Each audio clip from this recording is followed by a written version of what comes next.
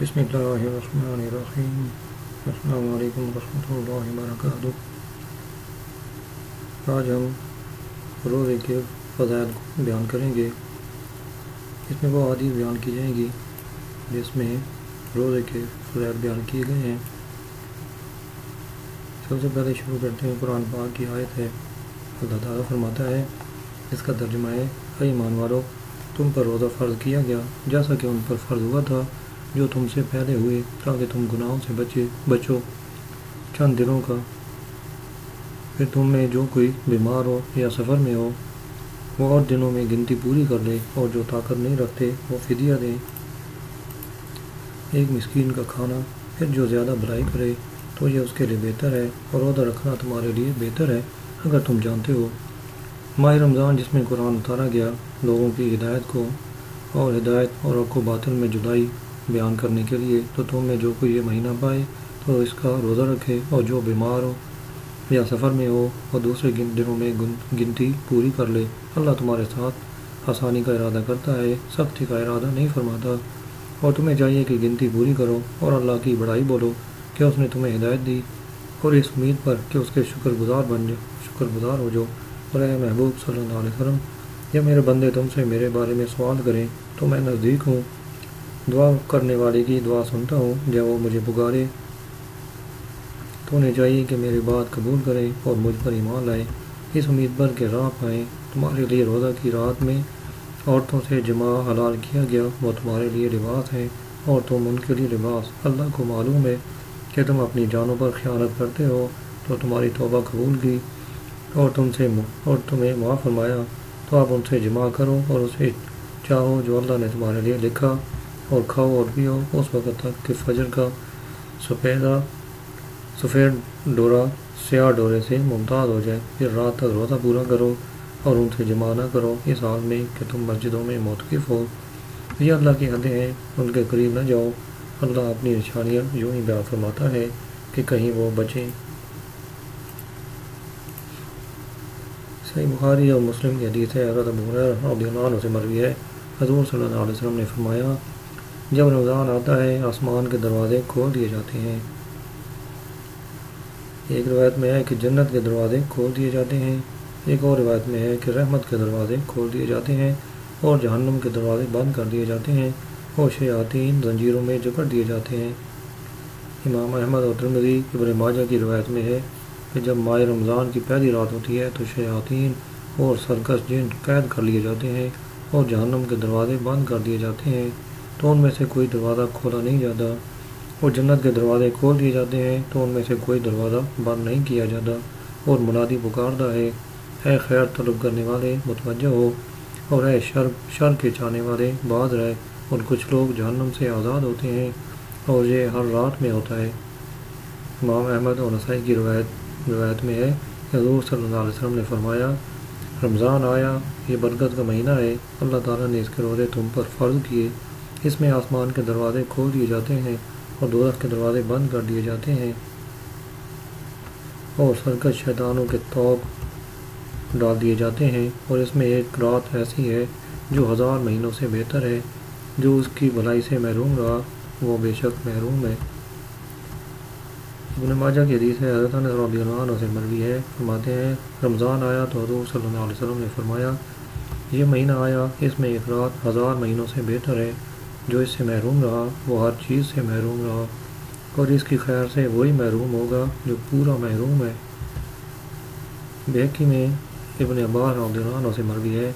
فرماتے ہیں کہ جب رمضان کا مہینہ آتا، رسول اللہ صلی اللہ علیہ وسلم سب قیدیوں کو رہا فرما دیتے اور ہر سائل کو عطا فرما دے۔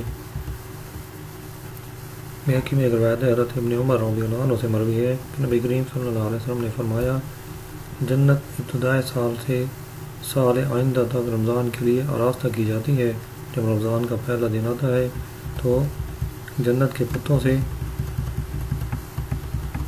عرش کے نیچے ایک ہوا حورین پر چلتی ہے۔ وہ کہتی ہیں، اے رب، تو اپنے بندوں سے ہمارے لیے ان کو شور بنا جن سے ہماری آنکھیں ٹھنڈی ہوں اور ان کی آنکھیں ہم سے ٹھنڈی ہوں۔ امام احمد میں حضرت بحریر عنہ سے مروی ہے کہ حضور اقدس صلی اللہ علیہ وسلم نے فرمایا، رمضان کی آخر شب میں اس امت کی مغفرت ہوتی ہے، عرض کی گئی، کیا وہ شب قدر ہے؟ فرمایا، نہیں، لیکن کام کرنے والے کو اس وقت مزدوری پوری دی جاتی ہے جب کام پورا کرتے بحقی شعب المان میں سلمان فارسی رضی اللہ عنہ سے مروی ہے۔ فرماتے ہیں کہ رسول اللہ صلی اللہ علیہ وسلم شعبان کے آخری دن میں واضح فرمایا فرمایا ہے، لوگوں، تمہارے پاس عظمت والا، برکت والا مہینہ آیا۔ وہ مہینہ جس میں ایک رات ہزار مہینوں سے بہتر ہے۔ اس کے روزے اللہ تعالیٰ نے فرض کیے اور اس کے رات میں قیام یعنی نماز پڑھنا تطو یعنی سنت۔ جو اس میں اس میں نیکی کا کوئی کام کرے تو ایسا ہے جیسے اور کسی مہینے میں فرض ادا کیا۔ اور اس میں جس نے فرض ادا کیا تو ایسا ہے جیسے اور دنوں میں ستر فرض ادا کیے۔ یہ مہینہ صبر کا ہے اور صبر کا ثواب جنت ہے۔ اور یہ مہینہ مواصلات کا ہے اور اس مہینے میں مومن کا رزق بڑھا دیا جاتا ہے۔ جو اس میں روزہ دار کو افطار کرائے، اس کے گناہوں کے لیے مغفرت ہے اور اس کی گردن آگ سے آزاد کر دی جائے گی۔ اور اس افطار کرنے والے کو ویسے ہی ثواب ملے گا جیسا روزہ رکھنے والے کو ملے گا، بغیر اس کے کہ اس کے اجر میں سے کچھ کم ہو۔ ہم نے عرض کی، یا رسول اللہ صلی اللہ علیہ وسلم ہمیں کا ہر شخص وہ چیز نہیں پاتا۔ جس سے روزہ افطار کرائے، حضور صلی اللہ علیہ وسلم نے فرمایا، اللہ تعالیٰ یہ ثواب اس شخص کو دے گا جو ایک گھونٹ دودھ یا ایک خرما یا ایک گھونٹ پانی سے روزہ افطار کرائے اور جس نے روزہ دار کو پیٹ بھر کر کھانا کھلایا، اس کو اللہ تعالیٰ میرے ہاؤس سے پلائے گا کہ کبھی پیاسا نہ ہوگا، یہاں تک کہ جنت میں داخل ہو جائے۔ یہ وہ مہینہ ہے کا اول رحمت ہے، اس کا اوسط مغفرت ہے اور اس کا آخر جہنم سے آزادی ہے۔ جو اپنے غلام پر اس مہینے میں تخفیف کرے یعنی کام میں کمی کرے اللہ تعالیٰ سے بخش دے گا اور جہنم سے آزاد فرما دے گا۔ صحیح ہے۔ تنظی نسائی کی حدیث ہے۔ سعد بن سعد علی نان سے مروی رسول اللہ صلی اللہ علیہ وسلم فرماتے ہیں، جنت میں آٹھ دروازے ہیں، ان میں ایک دروازہ کا نام ریان ہے۔ اس دروازے سے وہی لوگ جائیں گے جو روزے رکھتے ہیں۔ بخاری اور مسلم میں حضرت رضی اللہ عنہ سے مروی ہے۔ حضور صلی اللہ علیہ وسلم نے فرمایا، جو ایمان کی وجہ سے اور ثواب کے لیے رمضان کا روزہ رکھے گا، اس کے اگلے گناہ بخش دیے جائیں گے اور جو ایمان کی وجہ سے اور ثواب کے لیے رمضان کی راتوں کا قیام کرے گا، اس کے اگلے گناہ بخش دیے جائیں گے۔ اور جو ایمان کی وجہ سے اور ثواب کے لیے شب قدر کا قیام کرے گا، اس کے اگلے گناہ بخش دیے جائیں گے۔ امام احمد حکم اور تبرانی کبیر میں حضرت عبداللہ بن عمر رضی اللہ عنہ سے مروی۔ حدیث ہے۔ رسول اللہ صلی اللہ علیہ وسلم فرماتے ہیں، روزہ اور قرآن بندہ کے لیے شفاعت کریں گے۔ روزہ کہے گا، اے رب، میں نے کھانے اور خواہشوں سے دن میں اسے روک دیا۔ میری شفاعت اس کے حق میں قبول فرما۔ قرآن کہے گا، اے رب، میں نے اسے رات میں سونے سے باز بعد رکھا۔ میری شفاعت اس کے بارے میں قبول کر۔ دونوں کی شفاعتیں قبول ہوں گی۔ صحیح بخاری اور مسلم میں حضرت بورہ سے مروی ہے۔ رسول اللہ صلی اللہ علیہ وسلم فرماتے ہیں آدمی کے ہر نیک کام کا بدلہ دس سے سات سو تک دیا جاتا ہے۔ اللہ تعالیٰ نے فرمایا، مگر روزہ کہ وہ میرے لیے ہے اور اس کی جزا میں دوں گا۔ بندہ اپنی خواہش اور کھانے کو میری وجہ سے ترک کرتا ہے۔ روزہ دار کے لیے دو خوشیاں ہیں، ایک افطار کے وقت اور ایک اپنے رب سے ملنے کے وقت۔ اور روزہ دار کے منہ کی بھوک اللہ کے نزدیک مشک سے زیادہ پاکیدہ ہے۔ اور روزہ سفر ہے یعنی ڈھال ہے۔ اور جب کسی کسی کے روزہ کا دن ہو تو نہ وہ نہ وہ بےحودہ بکے، اور نہ چیخے پھر اگر اس سے کوئی گالی گلوچ کرے یا لڑنے پر آمادہ ہو، تو کہہ دے، میں روزہ دار ہوں۔ تبرانی اوسط اور بحقی میں حضرت ابن عمر رضی اللہ عنہ سے مروی ہے کہ رسول اللہ صلی اللہ علیہ وسلم فرماتے ہیں، اللہ کے نزدیک اعمال سات قسم کے ہیں، دو عمل واجب کرنے والے اور دو کا بدلہ ان کے برابر ہے، اور ایک عمل ایک عمل کا بدلہ دس گناہ اور ایک عمل کا معاوضہ سات سو ہے اور ایک وہ عمل ہے جس کا ثواب اللہ ہی جانے۔ وہ دو جو واجب کرنے والے ہیں، ان میں ایک یہ کہ جو خدا سے اس حال میں ملے کہ خالص اسی کی عبادت کرتا تھا، کسی کو اس کے شریک، اس کے ساتھ شریک نہ کرتا تھا، اس کے لیے جنت واجب۔ دوسرا یہ کہ جو خدا سے ملا اس حال میں کہ اس نے شرک کیا ہے، تو اس کے لیے جہنم واجب۔ اور جس نے برائی کی، اس کو اسی قدر سزا دی جائے گی۔ اور جس نے نیکی کا ارادہ کیا مگر عمل نہ کیا تو اس کو ایک نیکی کا بدلہ دیا جائے گا۔ اور جس نے نیکی کی اسے دس گنا ثواب ملے گا۔ اور جس نے اللہ کی راہ میں خرچ کیا اس کو سات سو کا ثواب ملے گا۔ ایک درہم کا سات سو درہم اور ایک دینار کا ثواب سات سو دینار اور روزہ اللہ کے لیے ہے۔ اس کا ثواب اللہ کے سوا کوئی نہیں جانتا۔ امام احمد اور بحقی روایت کرتے ہیں کہ حضور صلی اللہ علیہ وسلم نے فرمایا، روزہ سفر ہے۔ اور دولت سے حفاظت کا مضبوط خلق حضرت رضی اللہ عنہ سے مروی ہے کہ رسول اللہ صلی اللہ علیہ وسلم نے فرمایا، جس نے اللہ کی رضا کے لیے ایک دن کا روزہ رکھا، اللہ تعالیٰ اس کو جہنم سے اتنا دور کر دے گا جیسے کوا کے بچہ تھا، اس وقت سے اڑتا رہا، یہاں تک کہ بوڑھا ہو کر مرا۔ حضرت ابو رضی اللہ عنہ سے مروی ہے کہ رسول اللہ صلی اللہ علیہ وسلم نے فرمایا، اگر کسی نے ایک دن نفر روزہ رکھا وہ زمین بھر اسے سونا دیا جائے۔ جب اس کا ثواب پورا نہ ہوگا، اس کا ثواب تو قیامت ہی کے دن ملے گا۔ ابن ماجہ میں حضرت بورہ رضی اللہ عنہ سے مروی ہے کہ رسول اللہ صلی اللہ علیہ وسلم نے فرمایا، ہر شے کے لیے زکوٰۃ ہے اور بدن کی زکوٰۃ روزہ ہے اور روزہ نصف صبر ہے۔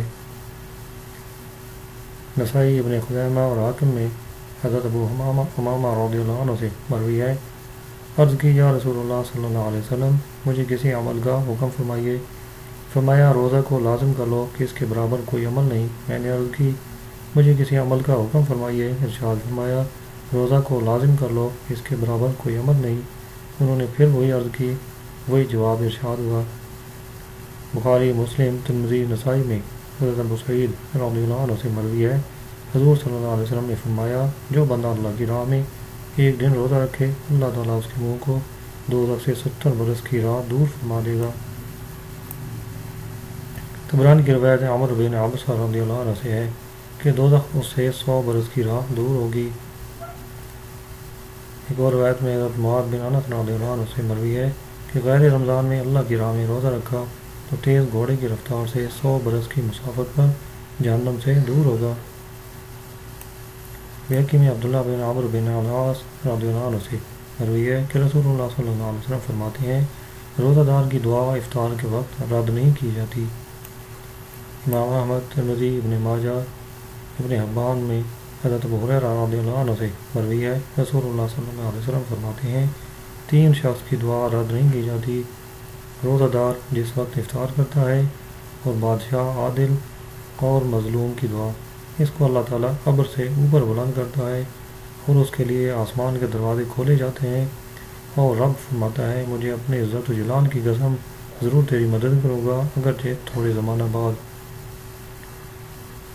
ابن حبان میں ابو سعید خود رضی اللہ عنہ سے مروی ہے کہ نبی کریم صلی اللہ علیہ وسلم فرماتے ہیں، جس نے رمضان کا روزہ رکھا اور اس کی حدود کو پہچانا اور جس چیز سے بچنا چاہیے، اس سے بچا تو جو پہلے کر چکا ہے، اس کا کفارہ ہو گیا۔ ابن باجہ میں حضرت ابن بار رضی اللہ عنہ سے مروی ہے کہ حضور صلی اللہ علیہ وسلم فرماتے ہیں، جس نے مکہ میں ماہ رمضان پایا اور روزہ رکھا اور رات میں جتنا مجسر آیا، قیام کیا، تو اللہ تعالیٰ اس کے لیے اور جگہ کے ایک لاکھ رمضان کا ثواب لکھے گا اور ہر دن ایک گردن آزاد کرنے کا ثواب اور ہر رات ایک گردن آزاد کرنے کا ثواب اور ہر روز جہاد میں گھوڑے پر سوار کر دینے کا ثواب اور ہر دن میں ہنسنا اور ہر رات میں ہنسنا لکھے گا۔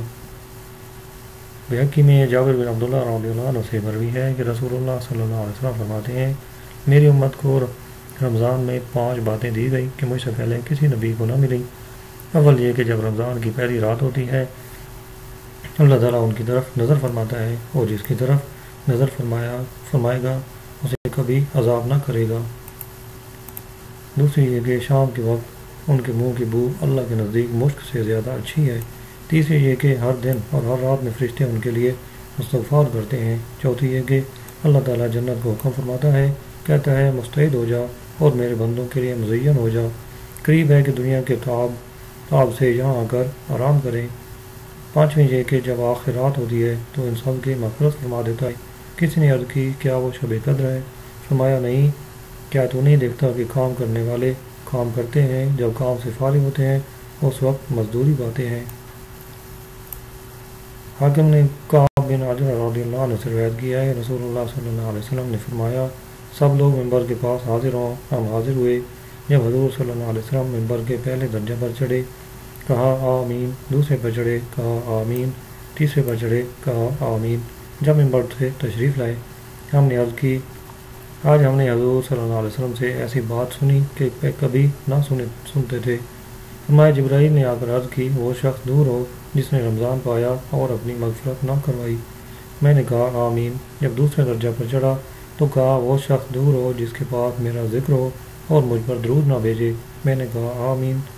جب میں تیسرے درجہ پر چڑھا، کہا، وہ شخص دور ہو جس کے ماں باپ دونوں یا ایک کو بڑا پائے اور ان کی خدمت کر کے جنت میں نہ جائے، میں نے کہا، آمین۔ حضرت رضی اللہ عنہ سے مروی ہے، رسول اللہ صلی اللہ علیہ وسلم نے فرمایا جب رمضان کی پہلی رات آتی ہے، اللہ تعالیٰ اپنی مخلوق کی طرف نظر فرماتا ہے اور جب اللہ کسی بندے کی طرف نظر فرمائے تو اسے کبھی عذاب نہ دے گا اور ہر روز دس لاکھ کو جہنم سے آزاد فرماتا ہے اور جب انتیسویں رات ہوتی ہے تو مہینے بھر میں جتنے آزاد کیے ان کے مجموعوں کے برابر اس ایک رات میں آزاد کرتا ہے۔ پھر جب عید الفطر کی رات آتی ہے، ملائکہ خوشی کرتے ہیں اور اللہ اپنے نور کی خاص تجلی فرماتا ہے، فرشتوں سے فرماتا ہے، اے گروہ ملائکہ اس مزدور کا کیا بدلہ ہے جس نے کام پورا کر لیا؟ فرشتے عرض کرتے ہیں، اس کو پورا اجر دیا جائے۔ اللہ تعالیٰ فرماتا ہے، میں تجھے گواہ، میں تمہیں گواہ کرتا ہوں کہ میں نے ان سب کو بخش دیا۔ حضرت ابو مسعود غفاری اللہ عنہ سے ایک طویل حدیث ہے۔ اس میں یہ بھی ہے کہ حضرت صلی اللہ علیہ وسلم نے فرمایا، اگر بندوں کو معلوم ہوتا کہ رمضان کیا چیز ہے، تو میری امت تمنا کرتے کہ پورا سال رمضان ہی ہو۔